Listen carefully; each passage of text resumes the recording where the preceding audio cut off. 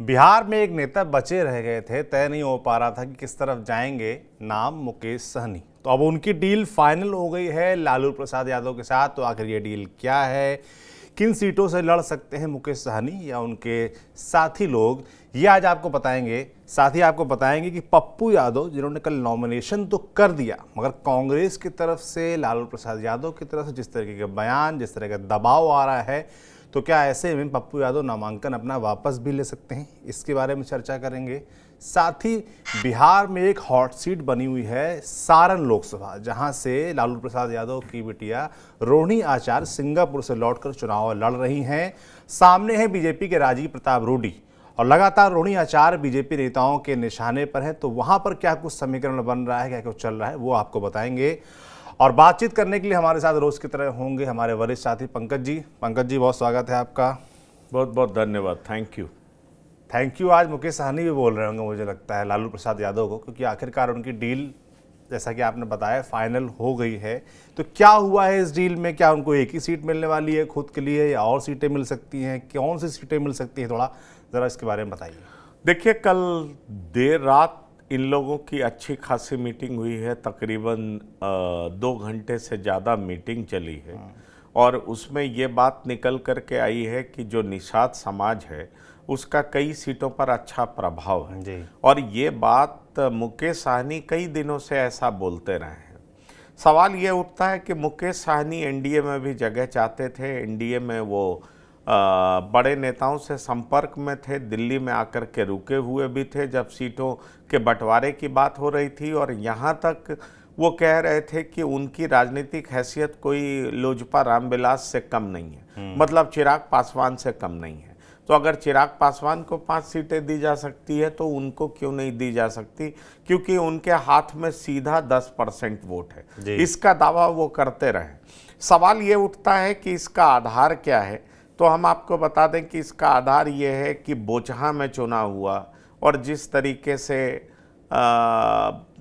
BJP की हालत हुई, साथ ही साथ जब बीजेपी के साथ वो चुनाव लड़े तो इनके चार एमएलए जीत करके आए और वो सारी सीटें जीत करके आए जहाँ पर बीजेपी कभी जीतती नहीं थी। जी। उसके बाद आप देखिए कि कई जगह पर इन्होंने आरजेडी का साथ दिया जैसे अनंत सिंह की जीत हुई।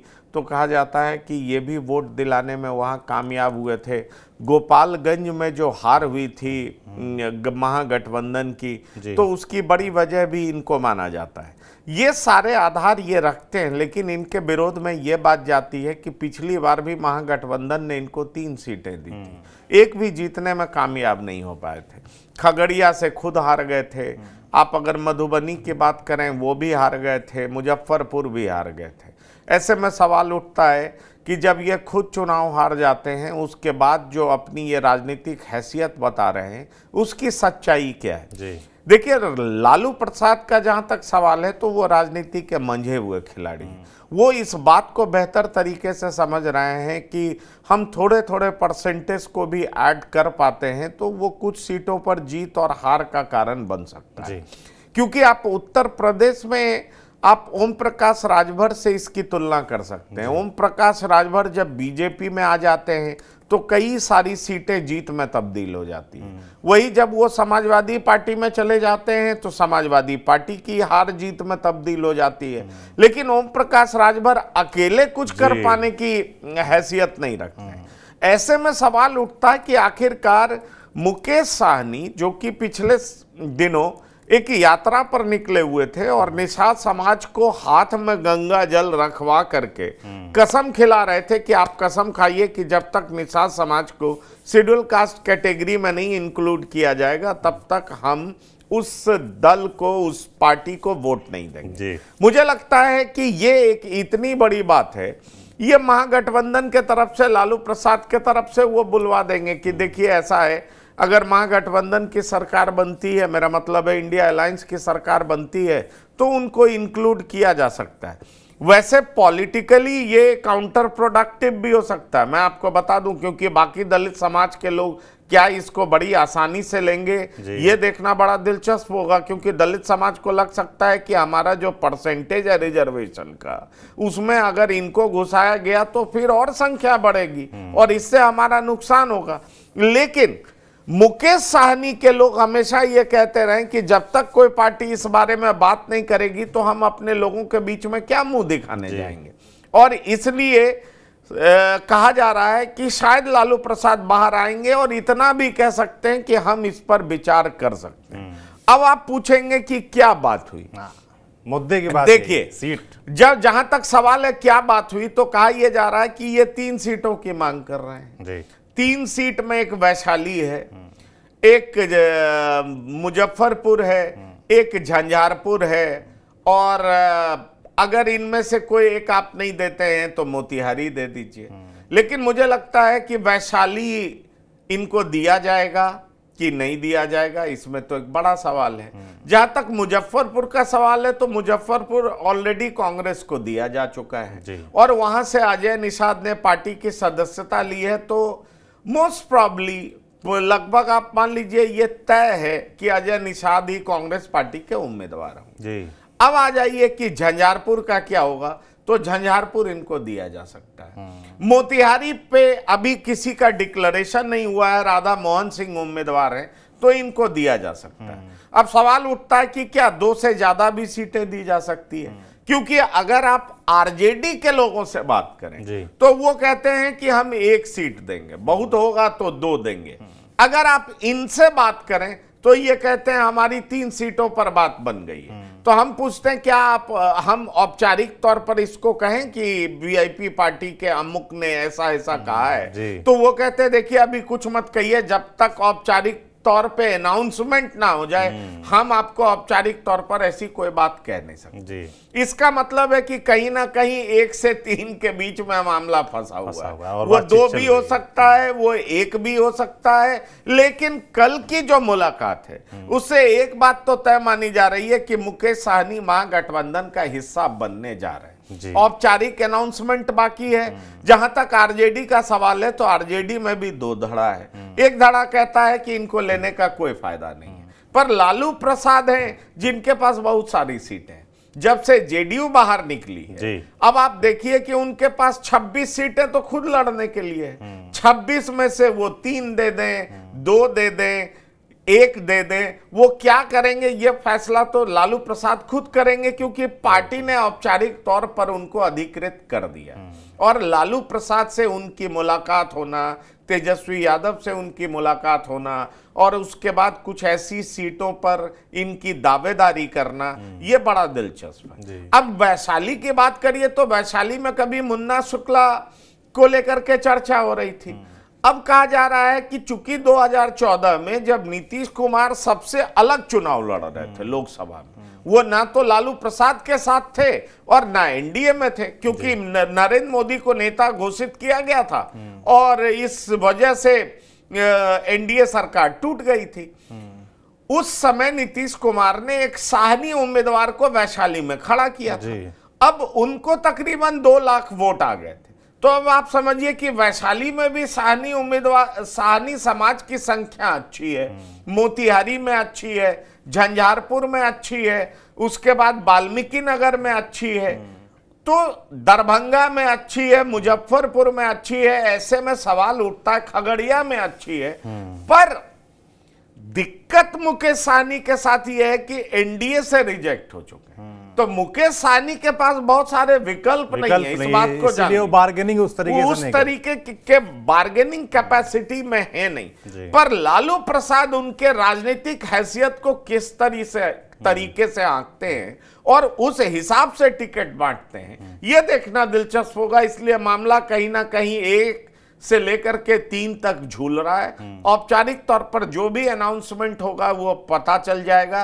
पर यह कहा जा सकता है कि मुकेश सहनी लगातार इस बात को लेकर के प्रयासरत थे कि इस चुनाव में प्रासंगिकता कायम रखने के लिए एनडीए ने अगर रिजेक्ट कर भी दिया है तो वो महागठबंधन का हिस्सा बन जाए। और महागठबंधन में उनकी वजह से एनडीए कुछ सीटें हारती है तो आगे से एनडीए उनको बहुत गंभीरता से लेगी। और ये साबित करने में मुकेश सहनी लगे हुए जी तो कुल मिलाकर एक बात तो साफ़ हो गई है कि एनडीए में तो रास्ता जगह नहीं बनी, मगर महागठबंधन में मुकेश सहनी शामिल हो गए हैं। कौन सी सीट होगी, कितनी सीट होगी, औपचारिक ऐलान के बाद ये भी सामने आ जाएगा।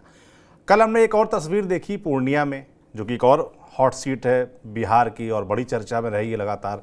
जब से पप्पू यादव ने घोषणा की कि वो निर्दलीय लड़ेंगे टिकट तो उनको मिला नहीं, कांग्रेस में शामिल होने के बावजूद। तो नामांकन तो हो गया पंकज जी, मगर कांग्रेस के जो प्रदेश अध्यक्ष हैं, अखिलेश प्रसाद, उनका बयान आया है कि निर्दलीय, अगर आप महागठबंधन में शामिल हैं तो निर्दलीय लड़ने की किसी को छूट नहीं दी जा सकती है और नामांकन वापस लेने की बात भी कही जा रही है। दबाव बनाया जा रहा है। लालू प्रसाद यादव लगातार दबाव बना ही रहे हैं। तेजस्वी प्रसाद, तेजस्वी यादव तो घूम भी आए जाकर पूर्णिया में अपने जो बीमा भारती हैं, प्रत्याशी हैं, उनके लिए प्रचार भी कराए। तो नामांकन के बाद से भी लगातार दबाव एडिशनल बढ़ा है पप्पू यादव पर। मगर पप्पू यादव का ऐलान है कि जिएँगे मरेंगे पूर्णिया ही रहेंगे अब ऐसे में क्या भविष्य दिखता है? क्या वो लड़ेंगे ही? या जो दबाव बनाया जा रहा है कांग्रेस की तरफ़ से अल्टीमेटम दिया जा रहा है वो काम कर जाएगा? देखिए दो तरह की बात है और वो दोनों तरह की बातें विचाराधीन है। हम्म। इसको समझना बहुत ज़रूरी जी। और इसको समझना इसलिए भी ज़रूरी है क्योंकि एक चीज़ तो सच है। हम्म। वो सच ये है कि आरजेडी और कांग्रेस का गठबंधन। हम्म। इस बात से इनकार किया नहीं जा सकता है। दूसरा सच यह है कि पप्पू यादव ने नामांकन ज़रूर फ़ाइल किया हम्म। लेकिन पप्पू यादव अभी भी कांग्रेस के नाम का गाना गा रहे हैं हम्म। वो कांग्रेस के शीर्ष नेतृत्व को गाली नहीं दे रहे जी। इस बात को समझिए हम्म। और गाली क्यों नहीं दे रहे हैं इसमें वो अपना पॉलिटिकल फ़ायदा और नुकसान समझते हैं आरजेडी के लिए दर्द है आरजेडी के लिए उनको बहुत तकलीफ़ है लेकिन आरजेडी हम्म। को भी खुल करके वो कुछ नहीं कह रहे जी। वो मीसा भारती को बहन बता रहे हैं रोहिणी को बहन बता रहे हैं लालू प्रसाद को पिता तुल्य मान रहे हैं लेकिन उनका दर्द कई बार बाहर आ जाता और वो बेहतर समझ रहे हैं कि आरजेडी ही उनके राह में रोड़ा है वो यहाँ तक कह चुके हैं कि अगर आप लड़ाना ही चाहते हैं तो आप क्यों नहीं हमें आरजेडी का ही सिंबल दे दीजिए? हम पूर्णिया से आरजेडी के ही सिंबल पर चुनाव जी। लेकिन हम लड़ेंगे पूर्णिया से पर अब अब आप आइए प्रदेश अध्यक्ष अखिलेश प्रसाद सिंह की बात सुनिए। अखिलेश प्रसाद सिंह और लालू प्रसाद की क्या केमिस्ट्री है? वो आप इस बात से ही समझ सकते हैं कि जो लालू प्रसाद सोचते हैं वही अखिलेश सिंह सोचते भी हैं बोलते भी हैं और करते भी हैं। इस बात को समझ ली जैसे लालू प्रसाद पप्पू यादव और कन्हैया के विरोध में है हम्म। तो अखिलेश सिंह उनके विरोध में है ही नहीं। हम्म। उसके लिए सारा काम भी कर रहे हैं हम्म। और उस तरह का सारा एक्शन भी कर रहे हैं। जिससे साफ़ प्रतीत होता है कि अखिलेश सिंह क्या सोच रहे हैं और क्या करने जा रहे हैं। अब सवाल उठता है कि अखिलेश सिंह दिल्ली से पटना पहुँचते हैं और पटना पहुँचते ही वो किस तरह का बयान देते हैं? वो कहते हैं कि कांग्रेस के इतने बड़े नेता थे निखिल बाबू नेता हैं लेकिन औरंगाबाद से लालू प्रसाद ने आरजेडी को टिकट दे दिया तो निखिल बाबू इंडिपेंडेंट तो खड़े नहीं हो गए पार्टी का शीर्ष नेतृत्व तो कभी भी इस बात की आज़ादी नहीं देता है कि अगर आपको पार्टी टिकट नहीं दिया तो आप इंडिपेंडेंट चुनाव लड़ लीजिए और उसके बाद पार्टी का नाम लीजिए। पार्टी का शीर्ष नेतृत्व तो ऐसे लोगों के साथ कदापि खड़ा नहीं होगा। और खड़ा नहीं है यही बात शकील अहमद खां कहते हैं। सवाल ये उठता है कि ये कांग्रेस के प्रदेश अध्यक्ष कह रहे हैं। ये कांग्रेस के दूसरे बड़े नेता शकील अहमद खां कह रहे हैं। अब ऐसे में पप्पू यादव क्या करेंगे? पप्पू यादव बहुत ज़ोर से कह रहे हैं कि मैं पूर्णिया नहीं छोड़ूँगा पूर्णिया मेरी माँ है। लेकिन दूसरी तरफ़ ये भी कह रहे हैं कि अब उनका लाश जो है वो कांग्रेस के झंडे में ही दफन होगा। ये बात भी कह रहे हैं। हम्म। अरे भैया तो अगर कांग्रेस का शीर्ष नेतृत्व तो लालू प्रसाद के दबाव में इस तरीके से है। हम्म। तो आपको अगर कांग्रेस से बेदखल कर देगा तो फिर कांग्रेस के झंडे में आप कैसे आपका लाश दफन होगा? जी। और पूर्णिया आपकी माँ भी है आप ये भी कह रहे हैं तो आप पूर्णिया छोड़ेंगे भी नहीं। इस बात के क्या मायने? इसको पॉलिटिकली आप देखें तो इस बात के दो ही मायने हम्म। एक तो ये कि वो कांग्रेस से बार्गेन कर रहे हैं। कि कांग्रेस का शीर्ष नेतृत्व तो कहे कि ठीक है तुम छोड़ दो इसके बदले तुम्हें यह दिया जा सकता है। हम्म। समझ लीजिए। नहीं तो दूसरी बात क्या है? दूसरी दूसरा मतलब यह है कि वो कांग्रेस का नाम इसलिए जप रहे हैं क्योंकि वो समझ रहे हैं कि मुसलमान वोट की संख्या बहुत ज़्यादा है। वो अगर कांग्रेस से बैर करेंगे तो इसका नुकसान हो जाएगा। हम्म। क्योंकि राहुल गांधी की भारत जोड़ो न्याय यात्रा वहाँ भी पहुँची थी। और अब मुसलमान किस तरीके से कांग्रेस के प्रति उम्मीद भरी निगाहों से देखने लगे हैं ये सर्वविदित है। ये कर्नाटक में भी दिखा तेलंगाना में भी दिखा उत्तर प्रदेश के आ, लोकल बड़ी चुनाव में भी दिखा आपने देखा निकाय चुनाव में भी ये सार्वजनिक हुआ। अब ऐसे में सवाल उठता है कि आखिरकार पप्पू क्या करेंगे? ये तो पप्पू पे निर्भर करता है। क्योंकि उनकी बातों के कई मायने वो कांग्रेस का राग अलाप रहे हैं उसमें उनको अपना वोट का गणित भी दिखाई दे रहा है। दूसरा वो ये भी कहते हैं कि मेरे साथ इंटरव्यू में उन्होंने कहा कि अगर कांग्रेस का शीर्ष नेतृत्व कह देगा तो जो कह देगा मैं करूँगा।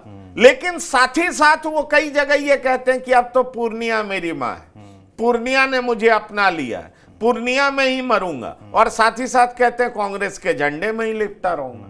तो आखिरकार वो जो कहना चाह रहे हैं उसके कई मायने पर दूसरी तरफ़ आप देखिए दूसरी तरफ़ क्या देखिए? दूसरी तरफ़ यह है कि आरजेडी ने अभी तक मधेपुरा का सीट डिक्लेयर नहीं किया। यानी कहीं ना कहीं यह उम्मीद तो है कि पप्पू को मधेपुरा लाया जा सकता है। इस बात को आप समझिए क्योंकि आरजेडी सुप्रीमो पप्पू यादव को मधेपुरा ही तो लाना चाहते थे। मधेपुरा से ही चुनाव लड़ाना चाहते थे। लेकिन पप्पू यादव माने नहीं। वो अगले दिन दिल्ली चले गए कांग्रेस की सदस्यता ले ली और उसके बाद वो पूर्णिया से चुनाव लड़ेंगे ये डिक्लेयर कर दिया और एक साल से वो मेहनत कर रहे थे। पप्पू यादव के दिमाग में ये बड़ा साफ़ है कि मधेपुरा से वो दो दो बार हार चुके हैं। जान लीजिए। जी। पप्पू यादव को लगता है कि लालू प्रसाद मधेपुरा बुला करके उनको हराना चाहते हैं और उनको पॉलिटिकली फिनिश करना चाहते हैं। उनकी राजनीतिक हत्या कर देना चाहते हैं। और दरअसल पॉलिटिकल फिनिश का मतलब यह है कि पप्पू यादव पोटेंशियली थ्रेट आगे हो सकते हैं। इसलिए क्यों नहीं इनको खत्म ही कर दिया जाए कोसी और सीमांचल में? जो। कि पप्पू यादव एक बड़े नेता के तौर पर जाने जाते हैं उनकी एक पकड़ है जीते आ रहे हैं वो अलग बात। पर उनकी उनकी एक धाक है एक छवि है लोग उनको जानते हैं। ऐसे में सवाल उठता है कि पप्पू यादव को लग रहा है कि मधेपुरा बुला करके मेरे खिलाफ साजिश रची जा रही है। लेकिन अभी तक आरजेडी की तरफ़ से मधु मधेपुरा का सीट डिक्लेयर नहीं किया गया। इसका मतलब क्या समझा जाए? जी। सवाल ये उठता है। इसलिए ये ऐसा एंगल फंसा हुआ है आप देखें तो साफ़ समझ में आता है कि पहले दो से चार तारीख तक के लिए नामांकन एक्सटेंड करना। इसका मतलब साफ़ था कि कांग्रेस का शीर्ष नेतृत्व कह रहा था मैं बात कर रहा हूँ अभी थमिए जी। तो इन्होंने लास्ट डेट तक नामांकन की तिथि पहुँचा दी। अब ये कह रहे हैं मैं नाम वापस नहीं लूँगा लेकिन कांग्रेस के झंडे से ही लिपटा रहूँगा। कांग्रेस की प्रदेश इकाई कह रही है कि ये कांग्रेस का शीर्ष नेतृत्व तो आज़ादी नहीं देता है। उधर आरजेडी मधेपुरा से किसी उम्मीदवार को नहीं उतार रही है क्योंकि मधेपुरा से उतरने वाले कई उम्मीदवार तैयार खड़े हैं। उसमें से वो प्रोफेसर चंद्रशेखर भी है शिक्षा मंत्री जो। कि हिंदू धर्म ग्रंथ को गाली दिया घूमते थे जब शिक्षा मंत्री थे। तो शिक्षा विभाग के लिए उन्होंने क्या कुछ किया नहीं किया वो तो कोई जानता नहीं है। लेकिन वो रामचरितमानस को गाली दे रहे थे। ये भी आपने सुना। वो भी लाइन में खड़े हैं आनंद मंडल भी लाइन में खड़े हैं जो कि बीपी मंडल के पोते हैं। अब सवाल ये उठता है कि जहाँ पर इस तरह की बात हो उसमें मधेपुरा का डिक्लेरेशन क्यों नहीं? सुपौल से चुनाव कौन लड़ेगा इसको अभी तक लालू प्रसाद ने घोषित क्यों नहीं किया? किस तरह की आपत्ति है? तो क्या मधेपुरा क्या सुपौल क्या कोई इस तरह की बात चल रही है? क्योंकि एक बात मत भूलिएगा सौरभ। कल पप्पू यादव ने ही कहा कि नामांकन से पहले आरजेडी के एक नेता का फ़ोन आया और उन्होंने कहा कि मधेपुरा क्यों नहीं चले जाते? जी। आप आप इस बात को समझिए। उधर कांग्रेस के प्रदेश अध्यक्ष कह रहे हैं कि कांग्रेस का शीर्ष नेतृत्व किसी को इंडिपेंडेंट महागठबंधन के के खिलाफ जो गठबंधन धर्म है उसके खिलाफ लड़ने की आज़ादी नहीं देता है जाने की आज़ादी नहीं देता मतलब कुछ ना कुछ एक कोशिश तो हो रही बिल्कुल। और उस कोशिश का नतीजा क्या निकलता है वो देखना दिलचस्प बिल्कुल बिल्कुल। तो पप्पू यादव को तय करना है कि वो दबाव झेलते हुए मधेपुरा जो चाहते हैं आरजेडी प्रमुख वहाँ जाते हैं या कांग्रेस के दबाव में, में वो सीट से नामांकन वापस लेते हैं। तय उनको ही करना है। अंतिम निर्णय क्या होगा, ये मुझे लगता है नामांकन की जो आखिरी तारीख वापसी की होगी उस दिन, तय हो जाएगी कि लाल कि पप्पू यादव क्या करने वाले हैं। एक और हॉट सीट पर चलते हैं। वो है सारण लोकसभा, जहाँ से रोहिणी आचार्य, लालू प्रसाद यादव की बेटी चुनाव लड़ रही हैं। सामने है राजीव प्रताप रूडी, दो बार से सांसद हैं, तीसरी बार उनके सामने रोहिणी आचार्य उतरी हैं। और जब से रोहिणी आचार्य का ऐलान हुआ है, तब से वो बीजेपी के बड़े नेताओं, बिहार के जो बड़े नेता हैं, उनके निशाने पर हैं।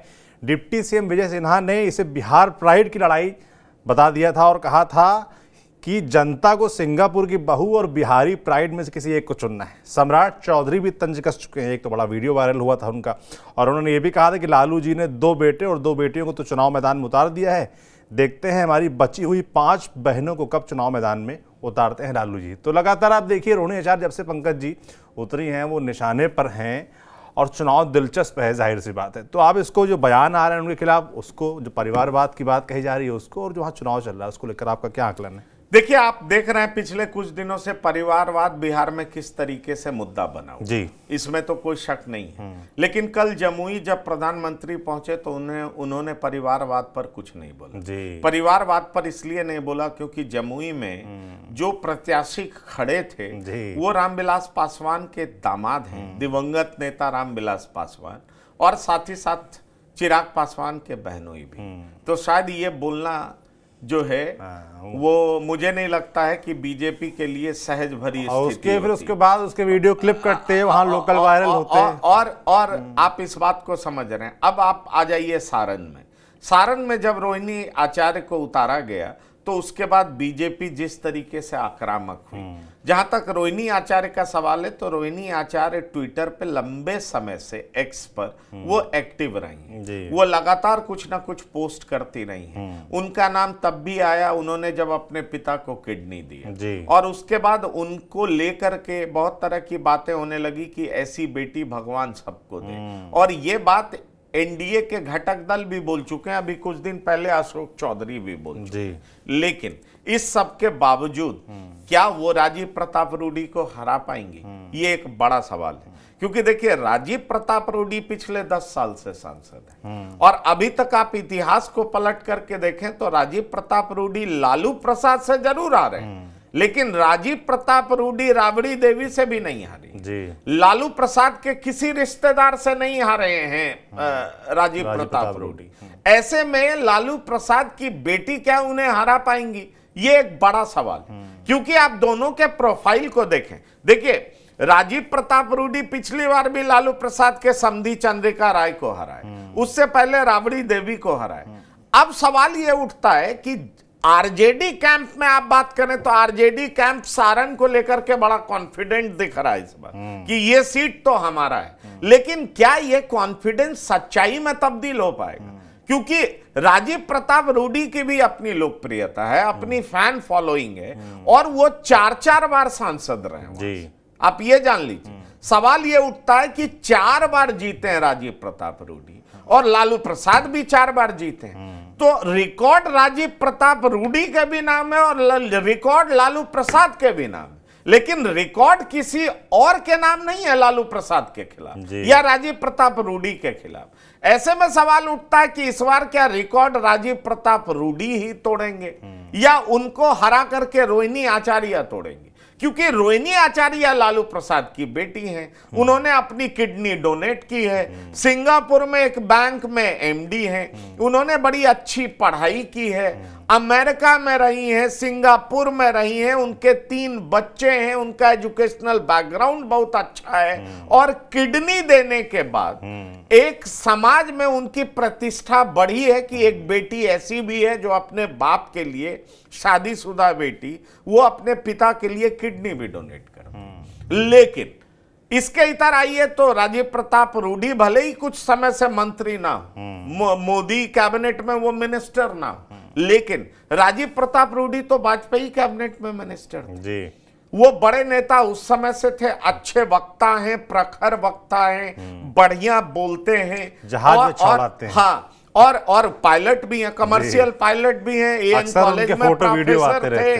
पंजाब में उनकी चंडीगढ़ में पढ़ाई हुई है वहाँ भी उन उनकी छात्र संघ में उन्होंने नेतागिरी की है। हिंदी अंग्रेज़ी दोनों अच्छा बोलना जानते हैं सोफिस्टिकेटेड हैं बहुत सारी बातें। तो क्या अब सवाल ये उठता है कि ये जो दो बड़े पर्सनालिटी का क्लैश है वहाँ उसमें कौन आगे बढ़ता है? ये तो देखना दिलचस्प बिल्कुल।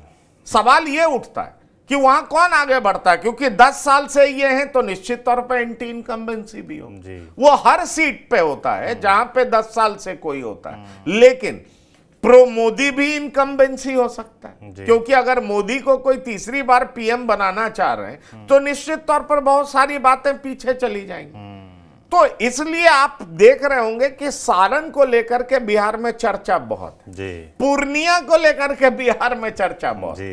पूर्णिया पप्पू यादव की वजह से चर्चा में बहुत है। वो लालू प्रसाद को जिस तरीके से चुनौती दे रहे हैं। साथ ही साथ सारण इसलिए चर्चा में है क्योंकि वहाँ लालू प्रसाद की बेटी मैदान में उतरी। और दूसरे जो उम्मीदवार खड़े हैं वो पूर्व मंत्री हैं। वो भी लोकप्रिय नेता है। ऐसे में सवाल उठता है कि वहाँ पर क्या होगा? ये देखना दिलचस्प होगा इसलिए सारण भी हाई प्रोफ़ाइल सीट बन चुका है। हाई अब। रोहिणी ने एंट्री ज़रूर किया एंट्री किया है। लेकिन रोहिणी क्या इसको जीत में तब्दील कर पाएँगी? ये एक बड़ा सवाल है। क्योंकि इस बात को भी आप इनकार नहीं कर सकते कि बिहार में बड़ा तबका एनटी यादव गोलबंदी करके वोट करता है। उसमें अति पिछड़ा समाज आता है। और यही इसी यही वजह है कि पिछली बार 40 में से उनचालीस सीटें एनडीए जीतने में सफल रही थी। पर क्या इस बार भी ऐसा होगा? सवाल ये उठता हर चुनाव अपने आप में अलग होता है। जी। तो उस लिहाज से आप देखें तो आप पाएँगे लेकिन ये हाई प्रोफ़ाइल सीट इसलिए बन चुका है क्योंकि एक तरफ़ राजीव प्रताप रूढ़ी जो कि पायलट है इंडिगो का विमान उड़ाते हैं। एएन कॉलेज में प्रोफेसर रह चुके हैं चंडीगढ़ में पढ़ाई की है और वाजपेयी कैबिनेट में मिनिस्टर सामने भी पढ़ी लिखी और सामने भी पढ़ी लिखी एक चौवालीस साल की महिला है जो कि लालू प्रसाद की सुपुत्री है। बिल्कुल सिंगापुर के एक बैंक में एमडी रही हैं। तो ऐसे में सवाल उठता है कि ये जो लड़ाई है, वो दिलचस्प होती है बिल्कुल, दिलचस्प होगी और जो भी फ़ील्ड पर जो जनता सोचती है, वो भी बहुत जल्द आपको हमारे चैनल पर देखने को मिलेगा। बाकी बिहार में जो कुछ अपडेट्स आते रहते हैं, आप तक हम पहुँचा ही रहे हैं। मुकेश साहनी की डील फाइनल हो गई है। क्या डील फाइनल हुई है, वो एक औपचारिक ऐलान होगा, उसके बाद सामने आएगा। मगर फ़िलहाल कयास, जैसा कि पंकज जी ने बताया कि एक से तीन सीटें मिल सकती हैं, अब फाइनली कितनी मिलती हैं, ये देखने वाला होगा। पप्पू यादव नामांकन वापस लेते हैं कि नहीं? ये चर्चा हमने की, अभी तो नामांकन वापसी जब होगी, उसी दिन तय होगा। बाकी जो हॉट सीट्स हैं, उनके बारे में लगातार जानकारी आपको दे ही रहे हैं, ऐसे देते रहेंगे। आप देखते रहिए टी वी नाइन डिजिटल। शुक्रिया।